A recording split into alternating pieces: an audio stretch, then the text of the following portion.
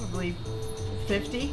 Hi, I'm Tracy Neff, and this is Sharon Wanke, and we're in PDL2 right now, and we're down here at JSC to do the fluids and combustion facility training for the combustion integrated rack and the fluids integrated rack.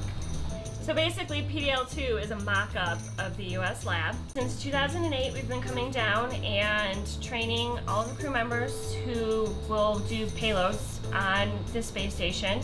We've been training cosmonauts as well. How many crew do you think you've trained at this point? Probably 50, probably over 50 crew members we've trained. Today, Tracy and Sharon are back at work with a former student, NASA astronaut Mike Fincke. This isn't Mike's first rodeo with the station, or this equipment for that matter.